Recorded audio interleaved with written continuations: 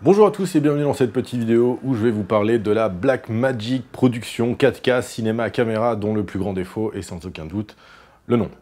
Alors la particularité de cette caméra est bien entendu sa faculté à pouvoir tourner en 4K. Alors pour le moment, à l'heure d'aujourd'hui, euh, c'est-à-dire mars 2014, c'est ça, euh, on n'enregistre pas en 4K.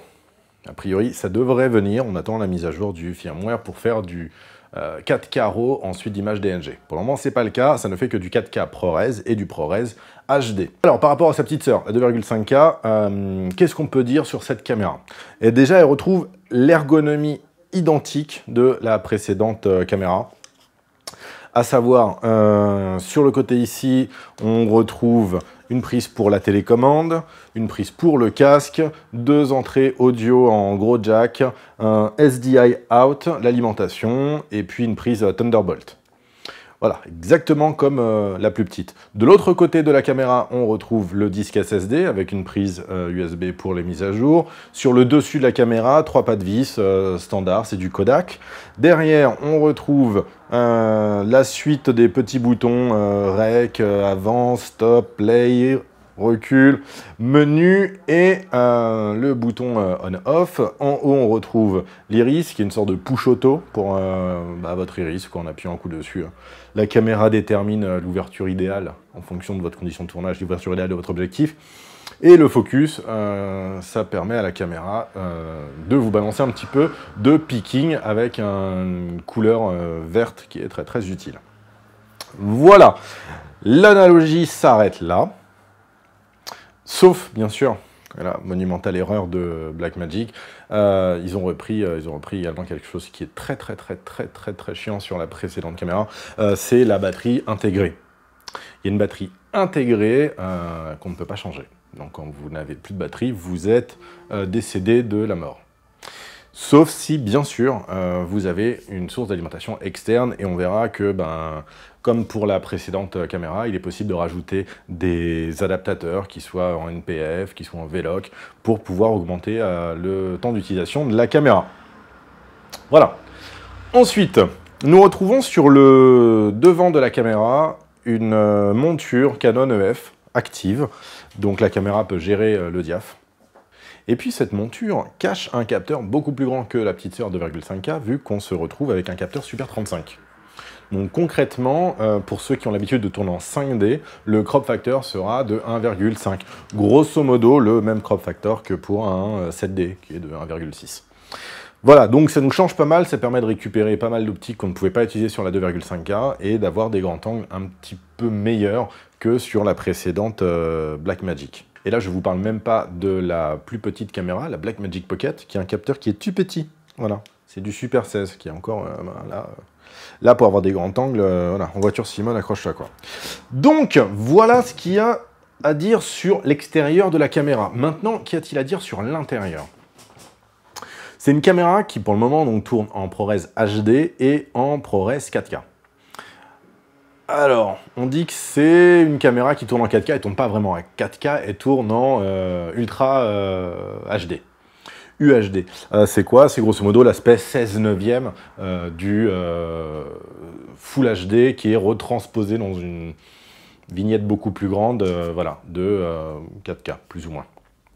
Voilà, donc cette caméra a plein de particularités, donc celle de tourner en 4K, on, reviendra après euh, dessus, euh, mais le premier point que je voudrais aborder, c'est le nouveau shutter qui nous ont mis, donc c'est un global shutter. Alors concrètement, qu'est-ce que c'est que le global shutter? Contrairement au shutter du 5D, 7D et consort, ou, ou même Epic, Scarlett, qui se vide ligne par ligne et qui donne un petit effet de jello, là, l'image est vidée d'un coup d'un seul. Donc ça évite euh, des déformations dans l'image. Concrètement, si on regarde là les images tournées avec un 5D, regardez un petit peu l'effet de jello qu'on a quand on fait des mouvements là sur la, monture de porte. Avec la Blackmagic Cinema Camera 2,5K, la précédente, euh, eh bien on avait également du gros rolling shutter, même si, euh, bon, bah, avec un capteur plus petit, on en a un petit peu moins qu'avec le 5D. Là, avec la caméra Blackmagic Production 4K, cinéma, caméra, machin, tout ça, tout ça, on a un global shutter et donc en fait, on n'a plus de déformation sur le ring shutter. Donc ça, c'est un très bon point, très très bon point pour la caméra. Il n'y a rien à dire dessus. Alors en termes de capteur, justement, euh, qu'est-ce que ça dit, le Super 35 Si on prend un exemple de la Blackmagic 2,5K, la Blackmagic première du nom cinéma caméra. Donc, on a posé ici un 16 mm dessus. Donc là, je vais vous faire de tête le crop factor. 16 mm x 2.3. on est à 36,8 de crop factor par rapport à du plein format sur du 5D. Si on met ce même 16 mm sur le capteur Super 35, on obtient l'équivalent d'un 24 mm sur un 5D. Voilà ce que ça donne. Et si on prend le 5D et qu'on met le 16, bah là on obtient du 16 mm sur du plein format. Voilà ce que ça donne. Concrètement, les uns superposés aux autres, vous voyez un petit peu à quel point est-ce que vous zoomez dans l'image dès que vous utilisez la Blackmagic 2,5K. Euh, Par contre, la 4K, vous retrouvez une vignette qui est assez honnête, vraiment. Euh, c'est vrai que le 5D, c'est quand même un petit peu hors norme en termes de capteur, hein, au niveau de taille de capteur. Donc on retrouve une image honnête qui est identique à celle des caméras cinéma, ou même des vignettes de 35 mm, de Super 35, qu'on utilisait à l'époque où on tournait encore en pellicule. Rappelez-vous, enfin pour ceux qui sont euh, pas trop jeunes pour ça. Alors le capteur de cette caméra, euh, donc est un Super 35 qui est un capteur 4K. C'est cool, très cool. Ça vous évite des gros problèmes d'aliasing. Alors si vous ne savez pas ce que c'est l'aliasing, je vais vous l'expliquer tout de suite. Euh, ou alors non, je vous laisse la surprise, vous regarderez sur euh, Google ou Wikipédia. Voilà, grosso modo, c'est euh, quand vous avez trop de détails, il y a des pertes d'informations dues à des, à des pixels qui disparaissent, et bon bref, c'est plus compliqué, mais dans l'idée, regardez ce que ça donne sur un 5D, là dans les feuillages tout au fond, là-bas, regardez, on grossit l'image, vous voyez, donc, je ne vous parle même pas de la définition, simplement euh, l'aliasing, vous voyez que vous avez des contours qui sont du coup pas nets du tout et, euh, et des pertes d'informations euh, entre les hautes lumières et les basses lumières. Si on prend la Blackmagic 4K production, cinéma, bref, là on a une image qui bon, déjà est plus définie, c'est normal, c'est du 4K. Mais en plus, on n'a pas ces mélanges euh, de pixels qui feraient des couleurs un petit peu euh, étranges, notamment entre les hautes lumières et les basses lumières dans la, jonction entre les deux. Alors pour vous, qu'est-ce que ça change? Concrètement, si vous avez interviewé Monsieur Duchemin, le PDG des entreprises Duchemin et Duchemin, qui fabrique euh, des chemins, et que ce monsieur décide de venir avec, enfin je sais pas s'il fabrique des chemins, monsieur Duchemin, mais non, admettons que, et il a décidé de venir avec sa super chemise à rayures, Bon, au-delà du fait que c'est saut 2009, euh, il va être un petit peu triste parce que si vous tournez avec un 5D, vous allez dénaturer sa belle chemise fétiche dans laquelle il se sent si bien et il est trop content de répondre à des interviews dedans. Alors que si vous tournez avec la Blackmagic 4K, euh, ces rayures seront très jolies et apparaîtront très bien à l'image et ça c'est vraiment un gros plus et ça veut dire qu'il sera content de votre interview, il sera content de votre travail, il vous payera tout de suite, il vous payera plus, il vous donnera du boulot et à ce moment-là, super, vous pourrez enfin euh, être content et être euh, super satisfait et revenir nous voir pour nous prendre d'autres matériels. Voilà, surtout c'est ça. Une des particularités supplémentaires de cette caméra, c'est la dynamic range. Qu'est-ce que c'est la dynamic range? C'est la plage dynamique. Alors, qu'est-ce que c'est la plage dynamique? C'est une bonne question. Google, Wikipédia, tout ça, ça. Euh, grosso modo, c'est la différence entre ce que va pouvoir prendre votre capteur dans les hautes lumières et les basses lumières. Donc, au sein d'un même plan, qu'est-ce qui va être surexposé, mais quand même avec de l'information, et sous-exposé, mais quand même avec de l'information? Le cas typique, c'est euh, voilà, cette vidéo-là. Donc là, je me retrouve avec un background qui est euh, très exposé par le soleil. Moi-même, je suis peu exposé étant à l'intérieur. Et là, je suis au 5D. Donc vous voyez que pour avoir une image qui soit à peu près correcte, il faut que je fasse le choix ou bien entre être correctement exposé à l'intérieur ou bien être correctement exposé à l'extérieur. C'est pas comme ça que fonctionne le humain. L'humain, il a une plage dynamique qui est énorme. Ça lui permet de voir correctement la personne qui est à l'intérieur et également ce qui se passe à l'extérieur. Voilà, l'impression de faire une pub pour l'yaourt, tu sais, ça se voit à l'intérieur, ça se ressent...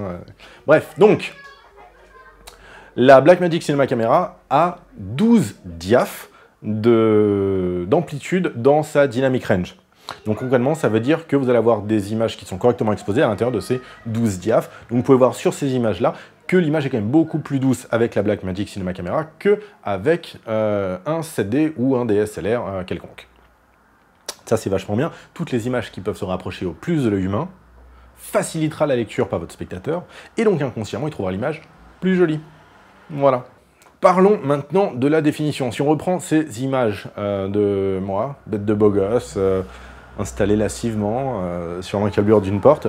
On peut regarder en zoomant dans l'image qu'avec le 7D, on a euh, quand même une perte de définition. Donc ça, on va le sentir principalement quand on va regarder sur des très grands écrans. Euh, sur une petite vignette sur votre ordinateur, sur une vignette de montage, vous en rendrez pas forcément compte. Maintenant, ici, on zoome à 400%. Donc là, forcément, on voit les défauts et les limites du Full HD. Si on passe au 4K, on peut zoomer dans l'image. Et là, c'est quand même, bon, je dirais pas c'est beaucoup plus beau parce que c'est quand même déjà beau, hein, le sujet est quand même magnifique. Voilà. pour ce que j'ai à dire. Non, bon bref, si vous zoomez dans votre image, vous pouvez faire des trucs de dingue. Par exemple, regardez ce plan-là. Voilà, ce monsieur qui, qui se promène dans la rue. Extraordinaire. Donc voilà, on a filmé ça tout à l'heure. Croyez-le ou pas, ce plan est un plan fixe. Vous le voyez en Full HD, mais j'ai simplement zoomé à 200% dans mon image, et ça m'a permis ensuite de faire une trajectoire, toute bête, euh, voilà, avec première, euh, pour euh, poursuivre ce bonhomme. Ça, c'est extraordinaire pour recadrer dans vos images. Vous pouvez faire des raccords au sein d'un même, d'un même, même interview. Vous pouvez zoomer, faire un petit punch editing faire un petit coup de zoom et ça passe nickel, nickel chrome, personne n'a rien vu. Donc ça c'est vraiment très très bien pour ça de tourner en 4K. On aborde vite fait euh, les points négatifs, je sais pas, on en parle, on n'en parle pas, qu'est-ce qu'on en fait? On en parle Concrètement, c'est une bonne caméra, il hein. n'y euh, a, a rien à dire. Mais elle a quand même des grosses limites. La limite bon, principal, c'est la limite de la batterie. Il faut euh, l'équipement, donc euh, voilà, il faut quand même l'équiper un minimum pour qu'elle soit euh, utilisable. voilà, épaulière, vous voyez que la prise en main, elle est vraiment pas facile. épaulière, du son, forcément, parce que le son est vraiment crado poulo. Et puis, il n'y a pas de ND intégré, donc forcément, il va falloir rajouter une matbox et des filtres ND. Sachant que, au niveau du shutter, on n'a pas la possibilité de pouvoir monter au, millième de shutter. Au maximum, euh, on est au centième, il me semble, ou 150e. Donc voilà, on peut même pas non plus euh, atténuer la lumière comme ça. Il faut impérativement une matbox et des ND. Voilà, c'est le problème. En termes d'ISO, notre problème, les ISO, ça c'est fait mal d'en parler. Déjà que la Blackmagic 2.5K, elle n'était pas super bien dotée. Là, on est encore, euh, voilà, encore plus c'est encore plus dégueulasse. Concrètement, euh, c'est pas une caméra low light du tout. Euh, c'est pas une caméra qui convient à toutes vos activités, surtout vos activités nocturnes ou à des activités où vous n'avez pas forcément le contrôle parfait des sources lumineuses, euh, puisque en termes d'ISO, on a trois choix 200 ASA, 400 ASA, 800 ASA. Donc c'est assez peu. Ça veut dire que concrètement, en basse luminosité, on est vraiment euh, dans les choux. Quoi. Si on regarde par exemple un 5D, jusqu'où il peut monter sans trop bruiter, un 5D Mark III, 3002, ça reste encore clean. Bon, voilà, c'est pas parfait euh, comme le serait du 160 euh, ISO, mais voilà, ça reste assez propre, vous voyez, briquet, tout va bien. Alors, il y, a des petits, des petits flickering, vous regardez derrière sur les, sur les LED de, de charge des batteries qu'on avait mis sur la table. Mais voilà, ça reste assez propre. Maintenant, si vous passez sur la Blackmagic 4K, on voit qu'il fait tout noir. On est limité à 800 ISO, on a un caillou qui ouvre à 2,8, pareil que sur le 5D, c'est le même config. Mais voilà, là on est battu, on est battu. Euh, alors on va me dire, oui, mais ça bruite pas, c'est quand même propre. Oui, mais ça bruite pas, c'est du 800. 800, c'est la valeur minimale du capteur, donc j'espère que ça bruite pas quand même à 800. Mais par contre, on ne peut pas monter au-dessus. Donc ce n'est pas une caméra pour la basse lumière. Mais alors, pas du tout. D'accord? Euh, et on peut descendre maximum à 200. Donc euh, ne soyez pas triste si vous pouvez monter dans les, dans, les, dans les tours, il vous faudra forcément avoir un petit peu de, un petit peu de lumière euh, à proximité, et voilà, vous trimballez de la light et tout. Et il y a un autre point qui, qui est ennuyant avec cette caméra, c'est exactement pareil que pour la Blackmagic 2.5K, c'est leur écran. Alors ils ont un écran tactile. Waouh, super mais c'est un putain d'écran qui chope tous les reflets du monde. Et donc ça veut dire que dès que vous tournez avec un minimum de lumière autour de vous, genre si vous êtes en extérieur, vous êtes complètement voiture, vous voyez rien. N'imaginez même pas pouvoir voir le truc. Vous pouvez peut-être bricoler un truc à base d'un drap, d'un t-shirt posé sur la caméra et tout. Enfin, c'est, voilà, vous pouvez faire un bricolage, mais, euh, mais un écran supplémentaire est fortement conseillé, voire obligatoire si vous tournez en extérieur. Voilà. Vous pouvez voir que c'est vraiment, vraiment très moche. Donc, euh, donc voilà, euh, c'était ma petite review de la caméra à l'heure actuelle. Euh, j'attends évidemment euh, l'arrivée du RAW, qui ne serait tardé. Hein. Je pense que là, dans, les prochaines semaines, prochains mois, ça y est, on l'aura, il n'y a pas de problème. Je rappelle que là, donc pour mars 2014, à l'heure actuelle, on n'a toujours pas de RAW, mais la caméra vient juste de commencer à être livrée. Donc voilà, c'est tout neuf. Voilà. On va pas non plus leur demander non plus la lune. Mais on l'attend. Ça, à mon avis, ça va changer la donne pour avoir du RAW 4K. Et sinon, dans l'ensemble, je trouve que c'est plutôt une bonne caméra. Vraiment, une très bonne image. Elle n'est pas adaptée à tous les types de tournage, euh, malheureusement. Euh, voilà, c'est pas... C'est pas aussi maniable qu'un DSLR. Euh, par contre, la résolution est complètement folle. Donc on est en, 4K. Alors, c'est pas vraiment du 4K, c'est de l'Ultra HD, mais bon, qui va, qui va se plaindre. Hein. Mais voilà, n'hésitez pas à poser vos questions, à nous appeler si vous avez des commentaires, vous voulez faire des essais de la caméra. Ce sera avec plaisir. Et puis moi, je vous dis à très bientôt dans une prochaine vidéo.